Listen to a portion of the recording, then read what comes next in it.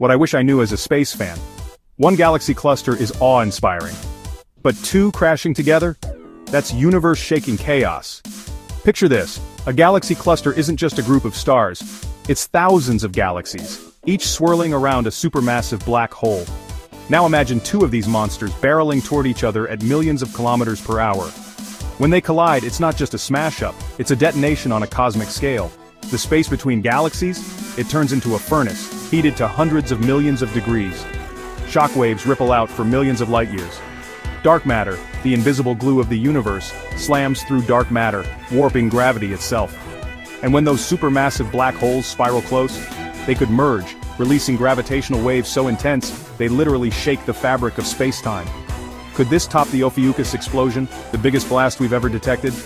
Scientists think so, the energy unleashed could light up entire galaxies and reshape a chunk of the universe forever. And here's the wildest part. Somewhere out there, this is happening right now. In part 10, we dive into the heart of the chaos, when black holes at the center of clusters finally collide. Follow now because things are about to get even more intense.